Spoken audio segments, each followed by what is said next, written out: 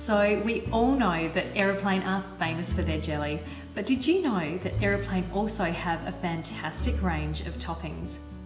Now when I think topping, I think ice cream, and you probably do too. But with Aeroplane toppings, there are so many things that you can do, and I'm going to show you a couple of them today.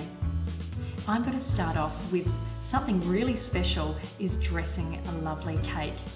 I'm going to use the aeroplane chocolate dressing and I'm just going to use a piping bag and write something special on the top. So let's have a go.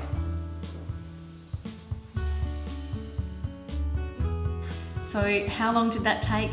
Less than five minutes. And now I have a beautiful treat for my family and really that was so easy. Nobody loves milkshakes more than I do. And today I'm gonna show you a really, really easy way to make the most crazy, insane milkshakes possible.